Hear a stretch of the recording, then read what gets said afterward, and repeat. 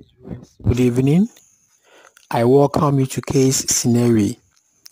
Kindly subscribe to my YouTube channel and click on the notification button for all of my videos coming up next.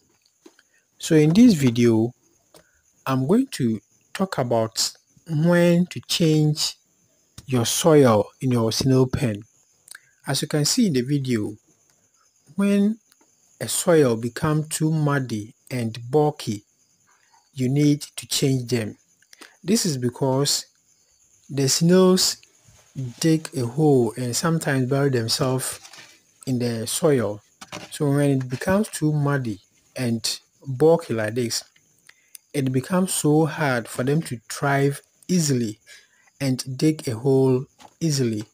So kindly change your soil if you see